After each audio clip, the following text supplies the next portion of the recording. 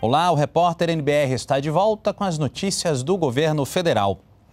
O presidente Michel Temer já chegou ao Brasil da viagem que fez para participar da cúpula do G20, que reuniu as maiores economias do mundo, mais a União Europeia. As 19 maiores economias do mundo, mais a União Europeia.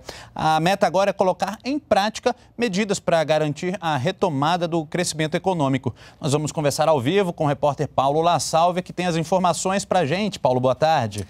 Boa tarde, Jaime. O presidente Michel Temer desembarcou em Brasília no fim da manhã e seguiu para o Palácio do Jaburu. Mas no começo da tarde veio aqui para o Palácio do Planalto. Segundo a Secretaria de Comunicação Social da Presidência, não existem compromissos previstos na agenda do presidente Michel Temer na tarde desta terça-feira. Na China, o presidente Michel Temer passou quatro dias participando da reunião de cúpula do G20, grupo formado pelas maiores economias do planeta. Em diferentes ocasiões na viagem, o presidente Michel Temer defendeu que o ajuste fiscal vai ter continuidade no Brasil, porque ele será o responsável pela retomada do crescimento da economia brasileira com a consequente geração de empregos e renda. O presidente Michel Temer, durante a viagem, também teve reuniões bilaterais, foram cinco ao todo, com lideranças do Japão, China, Espanha, Itália e Arábia Saudita.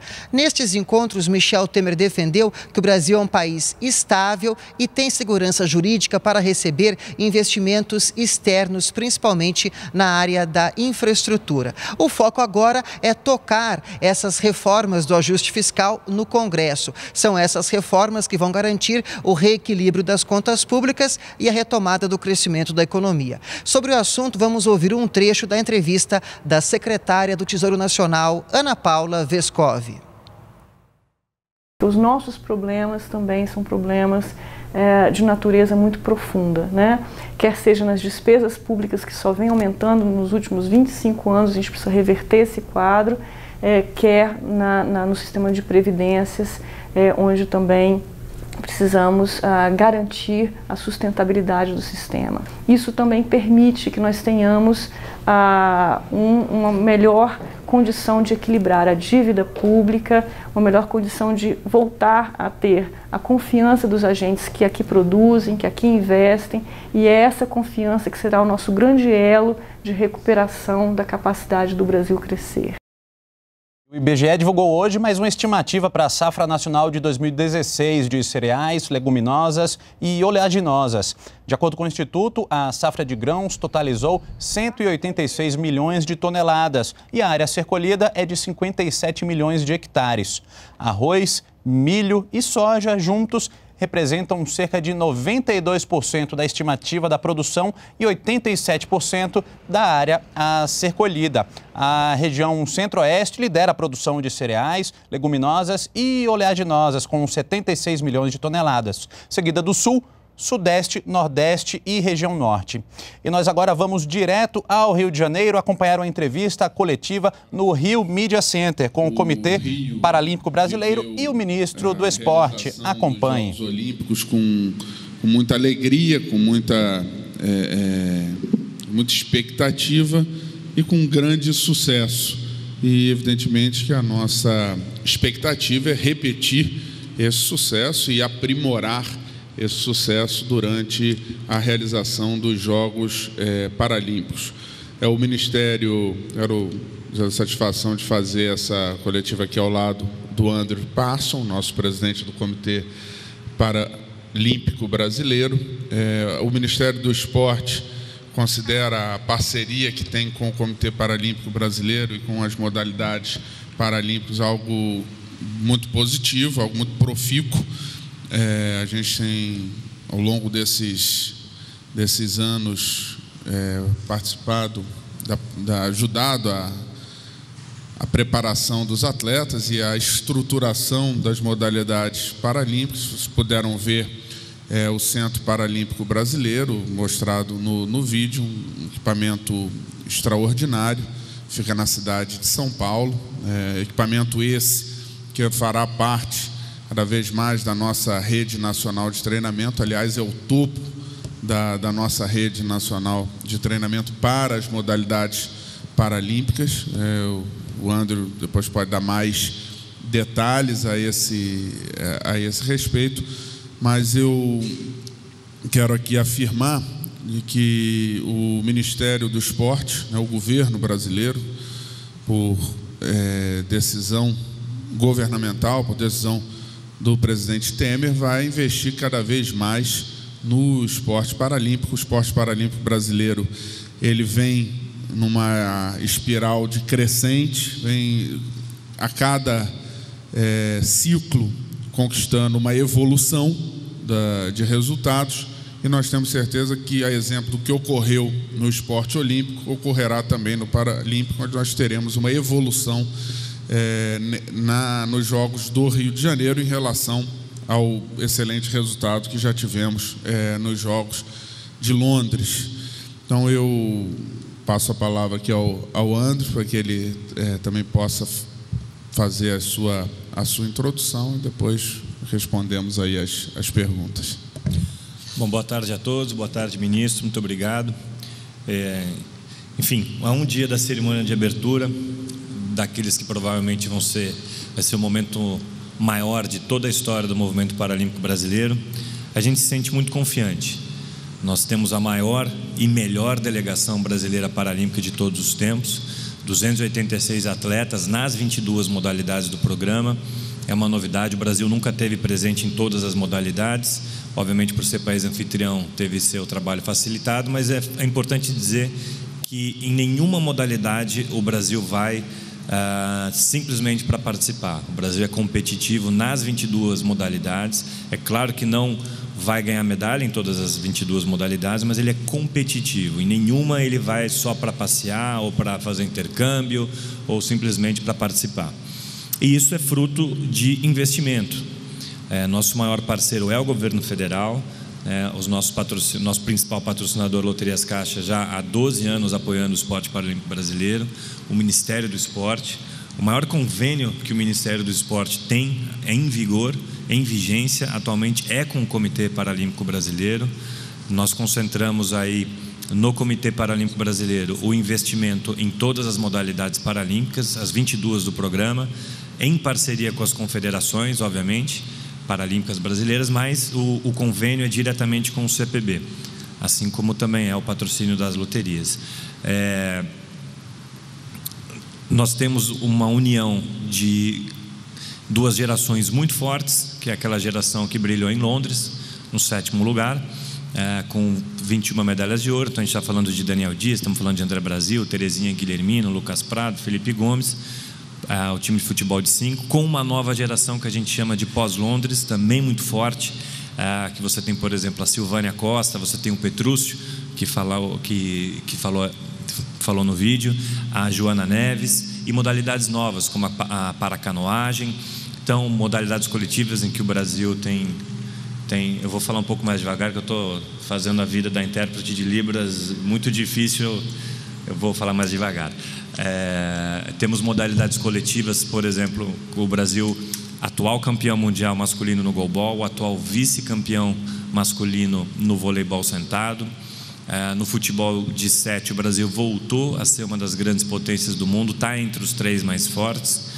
É, então a gente tem uma grande expectativa de que a nossa meta do quinto lugar ela, ela é factível, ela é muito agressiva, é muito ambiciosa né, no ponto de vista que a gente tem, não só pelo resultado que nós temos que atingir, mas pelo nível dos adversários que nós temos que ultrapassar.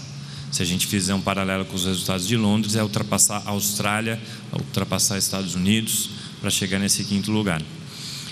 Mas o Comitê Paralímpico Brasileiro tem um planejamento a longo prazo, então essa meta do quinto lugar em 2016, ela foi anunciada em 2009, porque a gente trabalha com planejamento a longo prazo, então, a gestão do CPB tem sido ah, repetidamente, enfim, ah, servido como referência para outras entidades esportivas, porque nós temos entregado os resultados que nós temos nos proposto a fazer. Acho que isso dá uma segurança, por exemplo, ao Ministério do Esporte, de que né, cada ano e liberando um pouco mais de recursos. Bom saber que o presidente Temer vai continuar apoiando o esporte paralímpico cada vez mais. Então acho que a gente está exatamente no momento em que todo esses dois, esses dois ciclos, ah, desde 2009 até 2016, passando obviamente por Londres, a gente vai ter o, um, um, um, grande momento de ápice com, como eu falei, duas gerações, a melhor preparação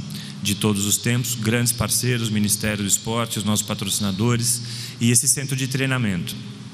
Dos dois maiores legados que a gente pode que a gente tirou desse período de sete anos de preparação para os Jogos foram exatamente esse centro de treinamento, esse centro de treinamento para 15 modalidades paralímpicas. É, nós fizemos um grande trabalho junto com, com, o Ministério do Esporte, junto com o Governo do Estado de São Paulo, de buscar as informações sobre os melhores centros de treinamento do mundo. Então, nós fomos à Rússia, fomos à China, fomos à Ucrânia, fomos ao Reino Unido, fomos aos Estados Unidos é, fizemos uma grande pesquisa sobre os melhores centros de treinamento do mundo até chegarmos no modelo que mais se adequava à realidade brasileira.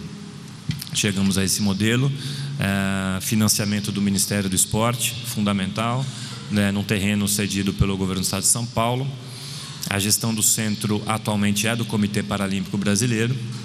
É, e isso é possível por causa do outro legado que nós conseguimos ao longo desses sete anos, que foi o aumento do percentual da Lei Agnello Piva. O CPB passou de 0,3% para 1% da arrecadação bruta das loterias, o que nos faz ser capaz de administrar esse centro da melhor forma possível, já que a gente estima que é um custo anual de pelo menos 30 milhões de reais.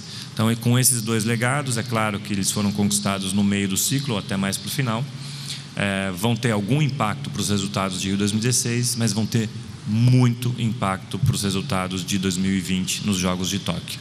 A perspectiva é a melhor possível, que a gente atinja esse quinto lugar. E agora é, eu devolvo para a nossa mestre de cerimônias, para que a gente possa responder as perguntas de vocês. Vamos iniciar as perguntas. Convidamos o jornalista Rodrigo Viga, da agência Reuters e da Rádio Jovem Pan de São Paulo. Boa tarde. Tudo bem, ministro Andrew? Rodrigo Viga da Reuters e Jovem Pan de São Paulo. Boa tarde, demais componentes aí do palco. É, Andrew, quando você fala que é factível essa meta, eu vou fazer uma pergunta para você e outra para o ministro, é, de quinto lugar. A gente retroage a Londres e vê que a Rússia estava ali naquele bolo de cima, só que agora não tem a Rússia enfim, tornou mais factível, tornou menos factível a ausência da Rússia, porque a gente sabe que, às vezes, em algumas modalidades, tem atletas que são muito bons, talvez os russos seriam bons em algumas modalidades. Isso é bom ou é ruim para o Brasil em determinada eh, modalidade. O quinto lugar é factível agora, porque agora, na, na sua palavra final, na sua frase final, fiquei com a impressão de que os investimentos que foram feitos ao longo do percurso, eles se robusteceram nessa reta final e eu fiquei com a impressão de que o quinto lugar é, é perseguido em 2016 e é factível realmente por conta desses investimentos em Tóquio 2020. E, ministro, boa tarde. Tudo boa tarde. bem? É, o que eu pergunto para o senhor é o seguinte: antes da Paralimpíada, teve toda aquela discussão sobre recursos, investimentos, as empresas foram definidas, os aportes efetivamente já foram feitos, queria saber os valores efetivamente, se ainda falta alguma coisa a ser desembolsada. E eu, é, na perspectiva de um investidor, fico pensando: é, o Bradesco é um patrocinador, sei lá, diamante, gold, desde o início do processo e no final eh, das contas chegou a Caixa Econômica Federal para resolver um problema emergencial. Como é que vocês conseguiram eh, resolver eh, essa questão envolvendo duas marcas que são concorrentes de mercado? Obrigado. Bom, é... desculpe, sua impressão está equivocada. O quinto lugar é factível agora, no Rio 2016. É e voos mais altos podem ser factíveis em Tóquio 2020, já que a gente vai ter mais recursos durante um ciclo inteiro e um centro de treinamento à disposição o ciclo inteiro. Se eu der a impressão de que o quinto lugar não é factível agora, só em Tóquio, não, é, não era essa a minha vontade, a vontade é dizer que o quinto lugar é factível agora. É claro que é difícil. É, o grande salto que nós demos, por exemplo, entre Atenas e Pequim, do 14 para o nono lugar, pulamos cinco posições mas com adversários que não são tão fortes quanto os adversários que a gente tem que ultrapassar agora. É, essa foi a minha, a minha, a minha a intenção do que eu falei. Se, a, se o fato da Rússia não está, não, o fato da Rússia não estar nos jogos, não nos coloca automaticamente em sexto. Né? Muita gente, bom, ficou em sétimo, tira a Rússia que foi segundo, a gente já sai do sexto lugar. Não é tão simples assim.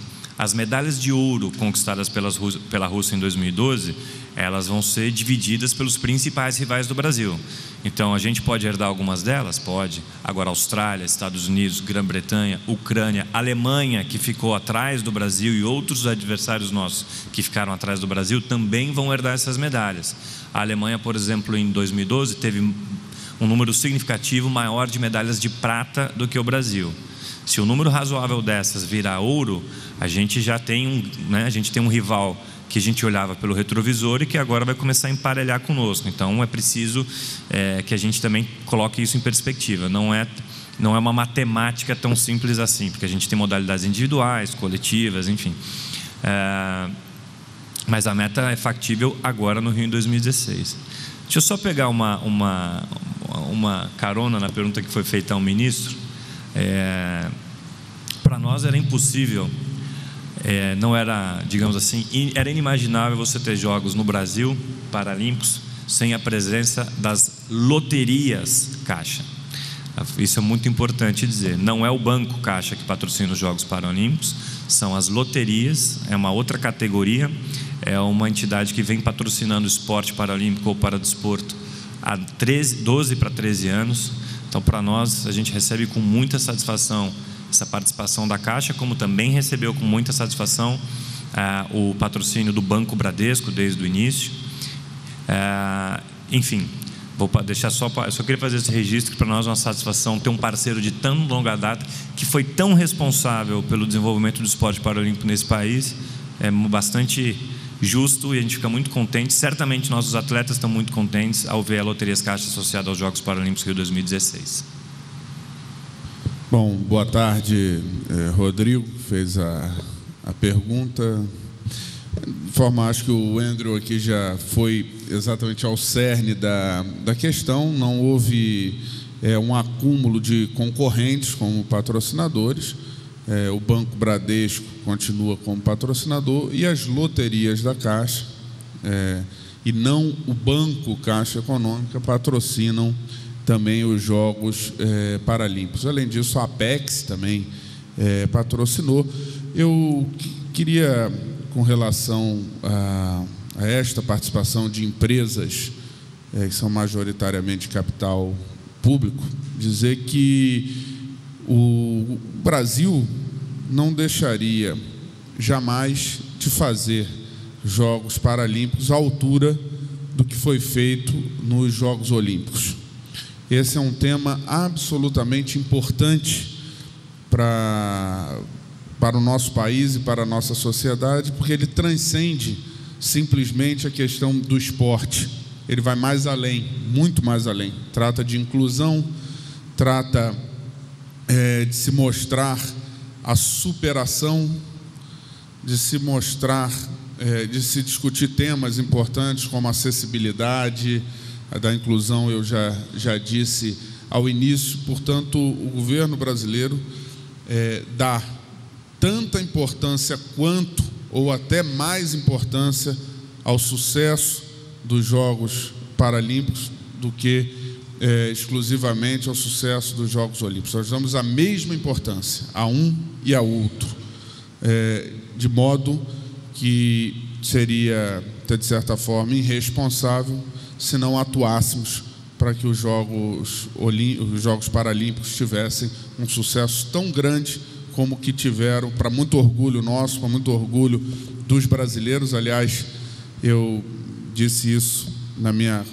na minha coletiva ao fim dos Jogos Olímpicos, disse isso hoje no acendimento é, da chama paralímpica, que quem ganhou a medalha de ouro nos Jogos Olímpicos, sem nenhuma sombra de dúvida, e vai voltar a ganhar, é, sem nenhuma sombra de dúvida, nos Jogos Paralímpicos, é, é, o povo brasileiro e o povo do Rio de Janeiro que acolheram o, as Olimpíadas e os Jogos Paralímpicos com muita motivação, com muita empolgação, encantaram a todo mundo, encantaram aqueles que visitaram o nosso país, que visitaram a cidade do Rio de Janeiro e aqueles que assistiram aos Jogos e que assistirão e que visitarão é, a cidade por ocasião da, das Paralimpíadas. E por fim, dizer, Rodrigo, que tudo, é, qualquer aporte, evidentemente, que tenha sido feito é, por empresas é, cujo controlador é o governo, eles ocorreram seguindo o que manda a legislação,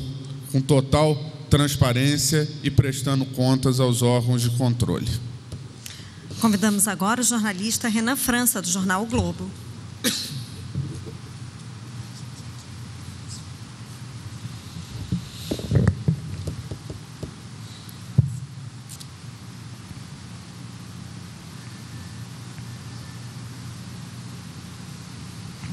Boa tarde. Uma das minhas perguntas já foram feitas. Eu queria saber se tem números atualizados da venda de ingressos e se você acha se, que o, a meta de ingressos vendidos vai ser batida.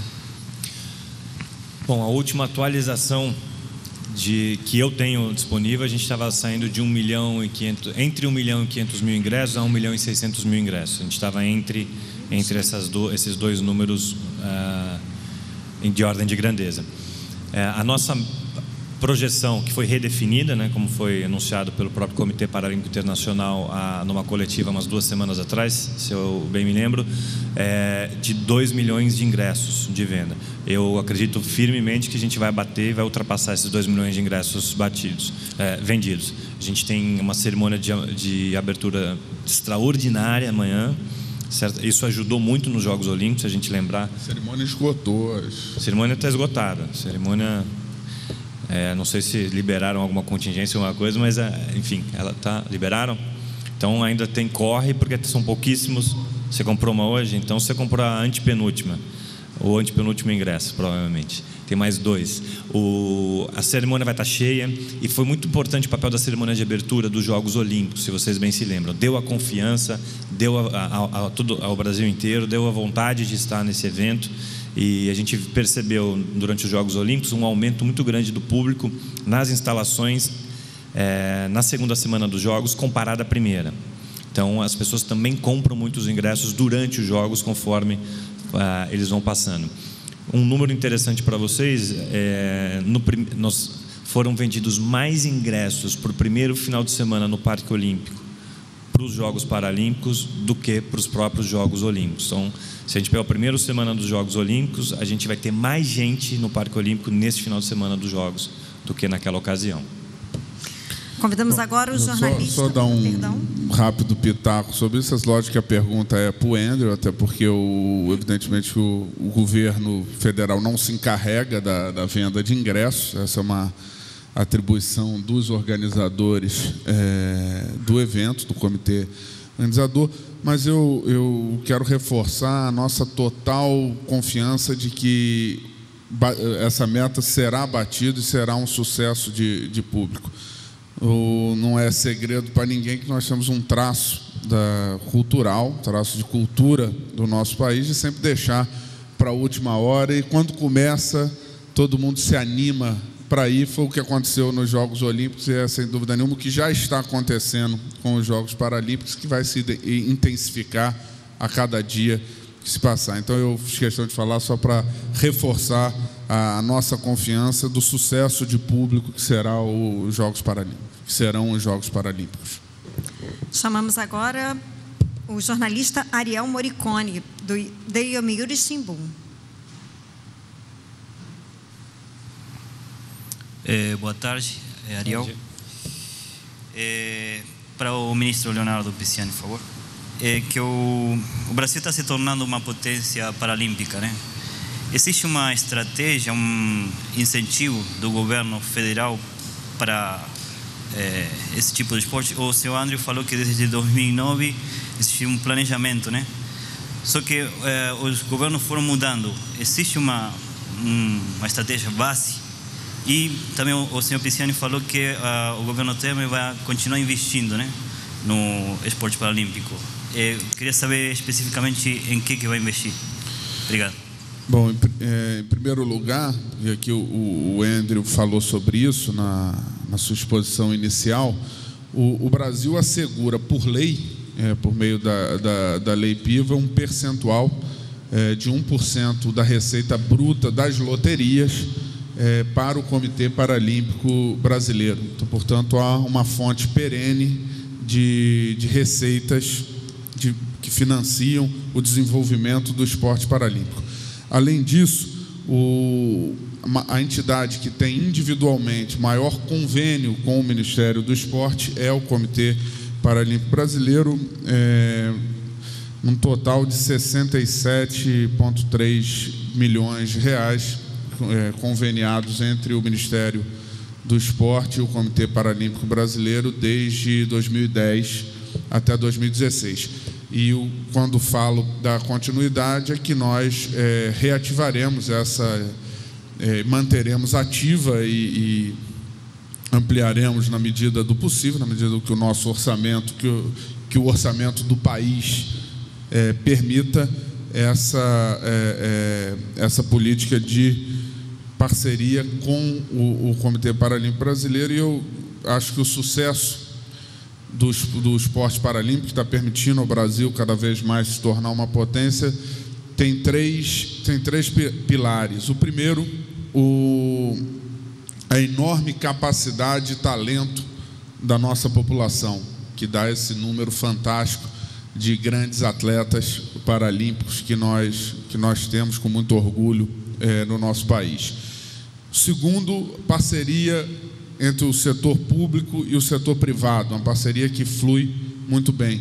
E o terceiro, eu registro aqui é, congratulações à atuação do Comitê Paralímpico Brasileiro, que faz uma gestão eficiente é, no desenvolvimento do, do esporte paralímpico no Brasil. Convidamos agora o jornalista Take Cobb, da agência Kyodo News. Está presente? Não? É, vamos passar então para o próximo. É, por favor, o jornalista Everson, da agência de notícias. Everson. A minha pergunta já foi contemplada. Ah, Muito tá obrigado. É, passamos então para o jornalista Gabriel do Esporte esporte esporte.com globoesporte.com, perdão, desculpa. É, boa tarde. É, nessa perseguição pelo quinto lugar, eu queria saber se há algum esporte o comitê é, acredite que possa ganhar mais ou há alguma aposta em, em esportes específicos para chegar ao quinto lugar?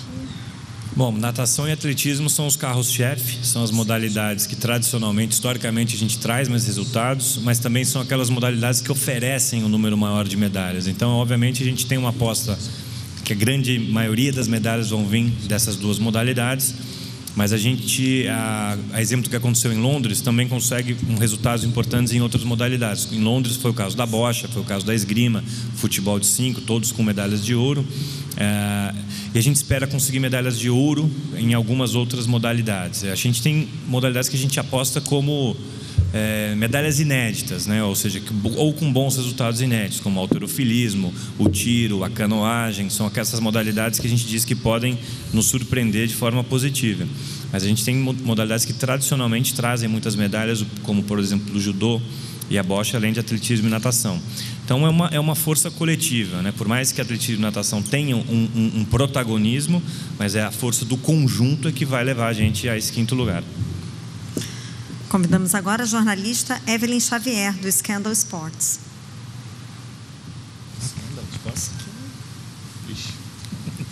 Boa tarde. Boa tarde. É, falando rapidamente, porque tem outros colegas que querem fazer as mesmas perguntas. É, o Scandal Sports, ele é um portal que ele aborda especificamente os esportes adaptados. E sendo assim, a minha pergunta é direta para um dos dois, quem puder me responder. É, ainda não somos tão vistos, não temos tanto ibope para o esporte adaptado como as Olimpíadas têm.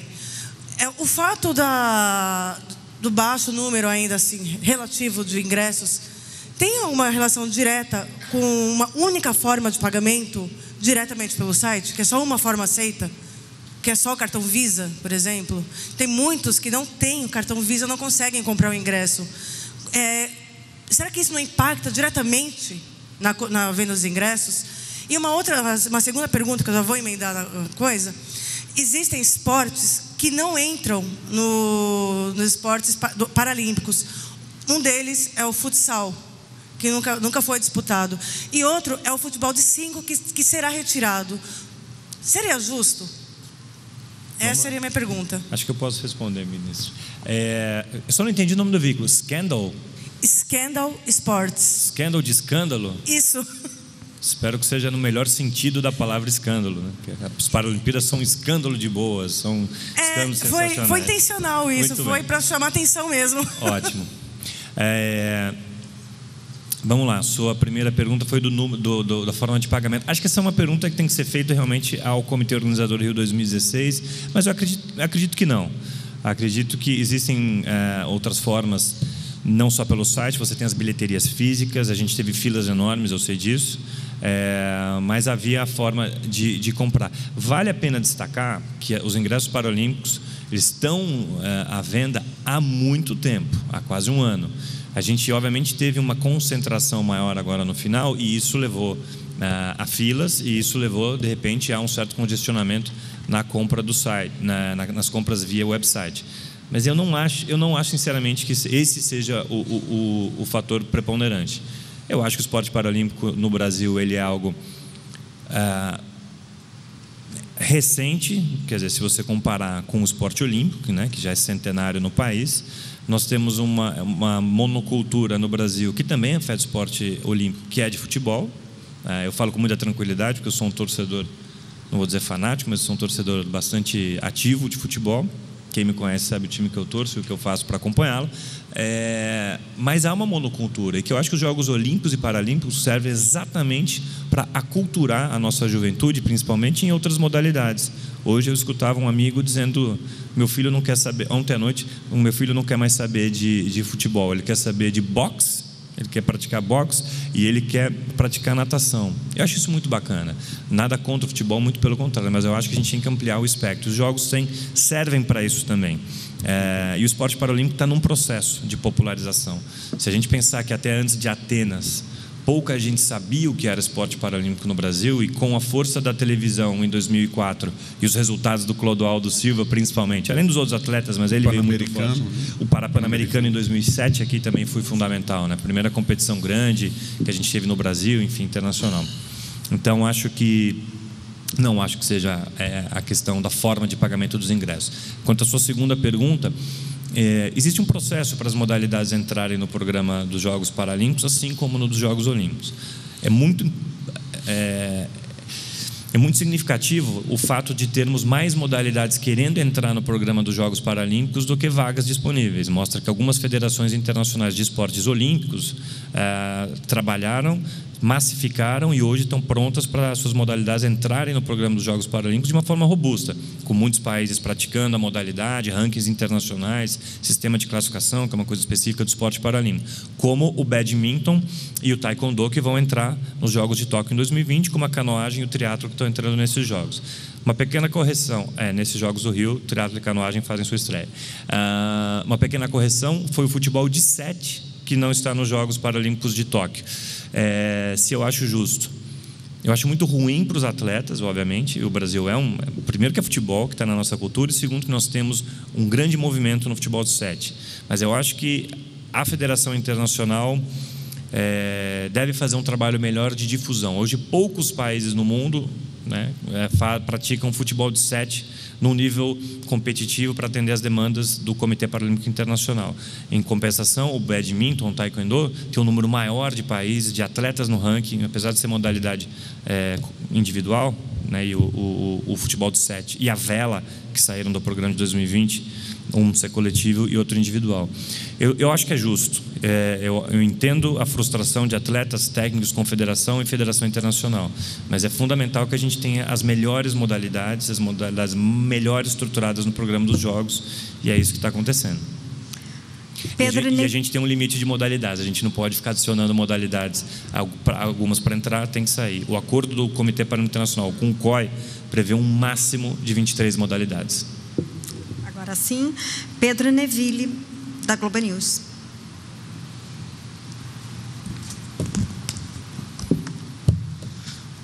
Boa tarde, ministro. Boa tarde, Andrew. Andrew, vai um pouco de encontro com a pergunta do João, da, do Globo Esporte, sobre os esportes que a gente vai assistir na Olimpíada. quem tiver, vamos dizer assim, pouco dinheiro, quiser escolher um esporte só, e, e vamos tentar sair um pouco daqueles esportes mais conhecidos, por exemplo, basquete, cadeira de rodas, que imagino que já deve ter sido bem vendido, também vôlei sentado, mas se você puder citar alguns esportes que são empolgantes, você, talvez seja injusto com outros, mas que traga mais o, o, público e que o Brasil tenha medalha também. O que, que você indicaria para o pessoal se divertir na, na Paralimpíada? Para o pessoal se divertir, eu indicaria as 22 modalidades do programa, que todas são extraordinárias. Se você quer me colocar numa situação difícil com meus presidentes de confederação. É... Depende muito do tipo de esporte que você gosta, né? Depende muito do. Mas, enfim, você assistir uma prova, por exemplo, do ciclismo estrada no Pontal, como você vai ter bicicletas tandem, que são aquelas que estão um cego o ciclista cego e o guia na frente, é, os atletas amputados, num visual extraordinário, quer dizer, ali na. É, eu falei Pontão, não, é no Pontal, perdão, é, do Rio de Janeiro. É, eu acho que essas modalidades outdoor que a gente tem no Rio, em que você vai ter um cenário extraordinário, quer dizer, você tem o triatlo, né, o paratriatlo, com atletas cegos, amputados com as suas próteses, você vai ver é, algo, os cadeirantes né, que nadam, é, pedalam com a mão no hand cycling e tocam, fazem a parte de corrida com a cadeira de rodas. É muito interessante, é muito bacana de ver. A, canoagem, o remo também num cenário extraordinário. Enfim, acho que a gente tem muitas opções. E acho que em Deodoro a gente vai ter algumas modalidades muito bacanas também. A gente vai ter o hipismo, é, que é algo, assim, você vê o controle que é, os atletas com deficiência até bastante severas têm sobre cavalos de 1,80m de altura, é digno de. é impressionante. E o futebol de sete. Futebol de sete que vai ser onde foi o rugby nos Jogos Olímpicos, então um estádio muito bacana, muito, muito, muito com clima de futebol e a nossa seleção também é muito forte. Então são várias opções. E o goalball, o goalball é interessantíssimo, boa, você é que o ministro conhece. É, o Brasil é atual campeão mundial masculino no goalball, as meninas vêm para medalhar também. É, é uma modalidade criada para os Jogos Paralímpicos é, e que ela tem uma dinâmica diferente de qualquer modalidade dos Jogos Olímpicos. Tem gente que acha que é como se fosse um handball, mas é diferente. Os atletas têm que se guiar pelo, pela, é, pelo barulho do guiso, eles vão colocando o corpo como se fossem goleiros, aí eles arremessam como se fossem, aí sim, talvez um handball. É muito interessante de ver porque é diferente. Agora, vou dar uma dica muito bacana. Agora que você pediu uma dica, tênis em cadeira de roda é um esporte imperdível. As partidas entre os atletas que estão entre os 20 do mundo são empolgantes. Você pensa que as cadeiras de roda vão desmontar, tá o vigor que esses caras vão para cima da bola, a agilidade é impressionante. Eu não perderia de forma nenhuma e tem muito brasileiro bom. Qualificamos oito atletas, sendo que a gente mais do que dobrou do número de, de Londres. E não foi convite não só, a gente qualificou oito. Eu acho, André, complementando a tua, a tua fala, evidente que todas as modalidades são interessantes e depende mais do gosto do freguês, né, do que, que a pessoa gosta de assistir, do que propriamente uma indicação de quem quer que seja. Mas eu, eu vou dar uma, algo que me surpreende sempre bastante, que é o atletismo. É, as marcas dos para-atletas, elas são muito próximas das marcas dos atletas, dos atletas olímpicos. E quem não está familiarizado com é, o, o paradesporto se surpreende com isso. Porque vai esperando, que, um, que o recordista mundial dos 100 metros rasos, né? vai esperando que ele, se fosse correr contra o Bolt, ia ficar é, é, mais da metade do caminho para trás, e não é isso, a diferença é muito pequena, é, são marcas bastante próximas, sobretudo levando em consideração é, é, as diferenças. Uma, uma, história, já que o ministro mencionou o Bolt, foi uma, teve uma ativação de um patrocinador dos Jogos com o Bolt há dois anos atrás, e ele ia guiar a Terezinha. E ele apareceu de calçadinhos, enfim, sem roupa de, de, de prova, de atletismo. Enfim, acho que ele subestimou um pouco. E ele perguntou para é, ele perguntou para Terezinha, né? Enfim, né? Masculino, ela é uma atleta é, é mulher. Qual o seu tempo, né? No, no, no 100 metros. Quando ela falou o tempo para ele, ele falou, ele olhou assim, e falou: opa, eu não vim preparado para isso. Você vai pegar leve, né? Dizer, então, isso é muito bacana, né? O Bolt, que é um fenômeno do esporte mundial, pedindo para uma atleta feminina, cega total, pegar leve, porque talvez ele não tivesse preparado para acompanhar. Vamos lá então, Karina Chagas da Rádio Tupi. Karina?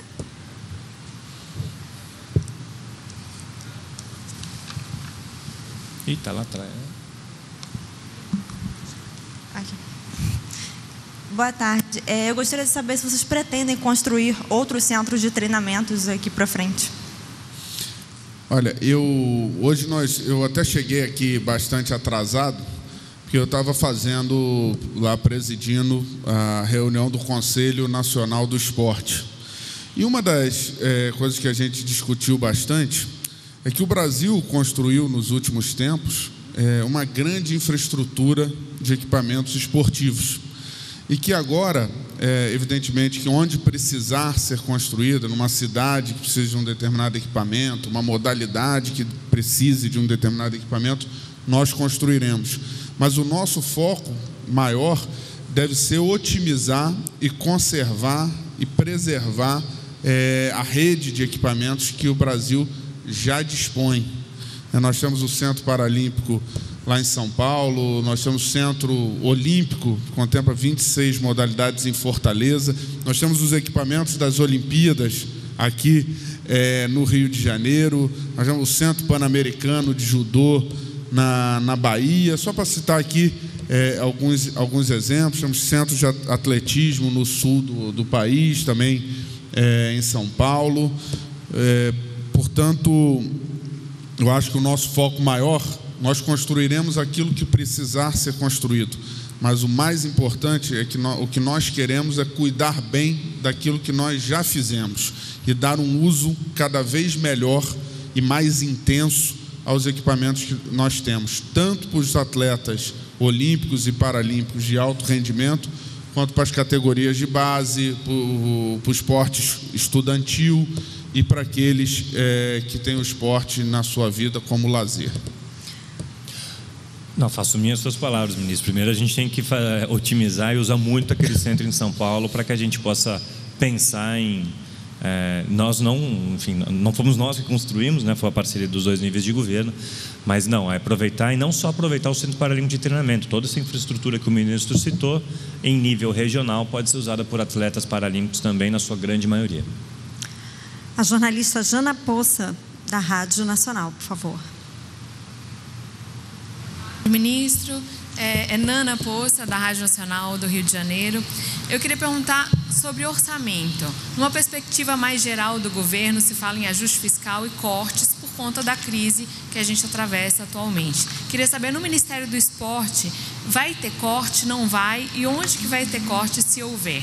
E também queria entender melhor o porquê agora abrir essa licitação de gasto com publicidade no próximo ano de 55 milhões de reais, que está lá no site do Ministério do Esporte, cujo as empresas têm até é, depois de amanhã para entregar a proposta. Se no início de maio o Supremo chegou a barrar o gasto extra de 80 milhões de reais com publicidade no Ministério do Esporte. Obrigada. Bom, é, a, a primeira pergunta com relação a. Bom, vou, vou começar com a, com a, segunda pergunta com relação a, ao, ao, gasto, porque há uma informação, eu vi a matéria, ela traz uma informação bastante imprecisa. É, 55 milhões foi o orçamento é, de, do, do gasto de comunicação deste ano. Foi o que foi, foi o está sendo executado esse ano, já foi executado parcialmente, que tem um teto de orçamentário de 55 milhões. É, nós tivemos um gasto intensivo por conta da promoção dos jogos, é, no, durante, sobretudo, os últimos dias, o, o, período que antecedeu e que transcorreu durante, durante os jogos. O orçamento para o, o, o próximo ano né, está na proposta que está encaminhada ao Congresso, um orçamento de 37 milhões, portanto, um orçamento menor é, do que o, o, deste ano, onde nós tivemos é, os jogos. Portanto, fizeram uma certa confusão na matéria.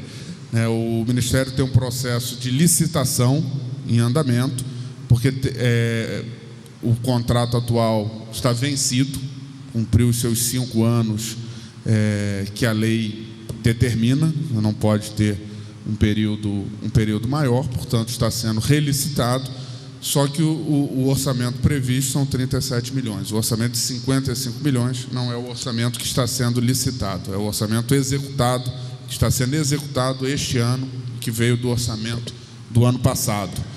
O, com relação ao, a possíveis cortes, o, evidentemente que o Brasil terá que fazer o debate das suas contas públicas, o debate do seu orçamento. Essa é uma tarefa do Congresso Nacional, é, aprovar a lei, a lei orçamentária.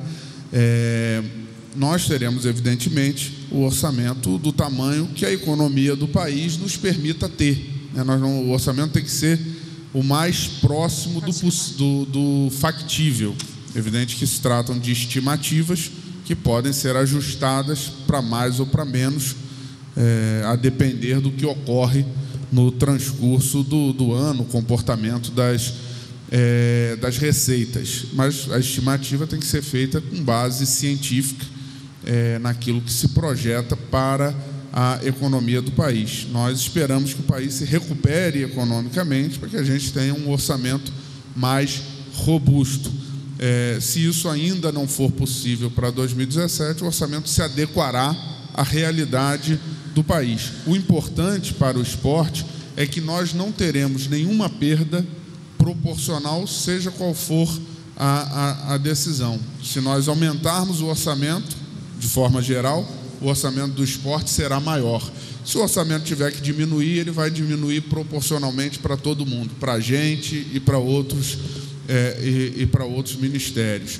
Até aqui, o nosso orçamento ele está preservado, sobretudo porque nós não teremos é, que fazer uma série de investimentos na construção é, de equipamentos esportivos, porque já o fizemos por ocasião dos Jogos Olímpicos da preparação da infraestrutura de, de esporte no país, então poderemos otimizar esse recurso no trato do legado, no investimento de manutenção dos equipamentos e naquilo que mais importa, que é no fomento ao esporte, no fomento ao atleta e no fomento à possibilidade das pessoas poderem é, cada vez mais terem o esporte na sua vida, é, praticar o esporte. Eu agradeço a pergunta, é, nos permite esclarecer o equívoco da, da matéria divulgada hoje.